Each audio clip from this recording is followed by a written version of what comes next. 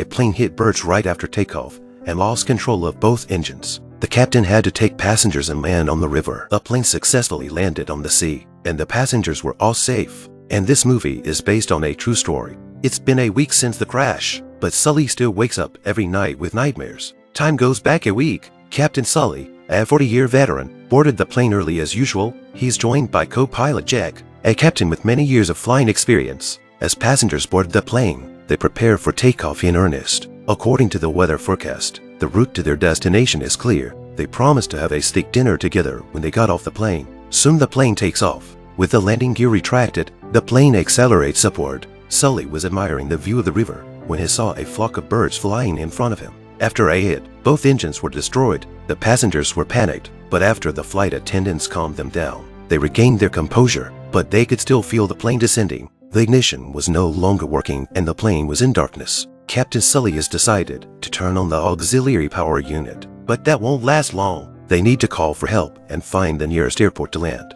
The ground liaison recognizes the critical situation and calls for a supervisor to make a decision. The supervisor calls for all aircraft at a nearby airport to be grounded and make room for Sully to land. The airport confirms the situation over and over again, and several people on the ground are sending messages back and forth. The plane was losing power and dropping rapidly every minute, and it hadn't gained much altitude in the first place. They didn't have time to divert to another airport. Eventually, Sully decided to land on the river which meant that no one would survive. The ground liaison called Sully over and over again, but there was no reply. He was eventually replaced by the leader and rested. The patrol helicopter saw the plane heading straight for the water and followed it. People on the upper floors are also watching the plane. Captain Sully gave final instruction to prepare for impact. Passengers are professing their love for their loved ones in this situation. With a loud bang, the plane hit the water and skidded on the surface for a few seconds before stabilizing. The plane landed right in the middle of the river, and water quickly came in through the cracks. By now,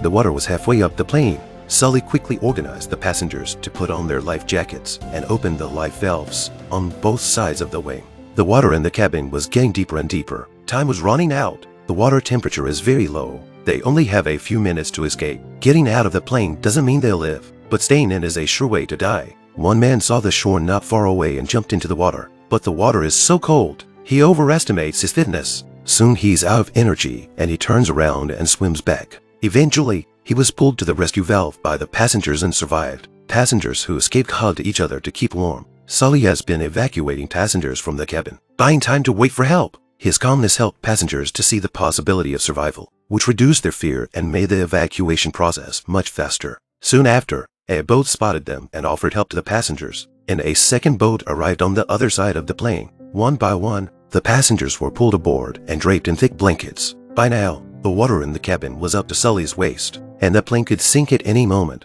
Despite the flight attendant's repeated calls for him to get out, he patrolled from the front of the seat to the back. He had to make sure that every passenger was off the plane. Only when he was sure no one was there did he put on his overalls and get his report, and finally jumped on the life valve. Sully and Jack were the last to board the ship. He didn't accept thanks from the passengers and warm blankets. He wanted to confirm the number of survivors. He had to make sure that all the people on the plane survived. But inside he was terrified.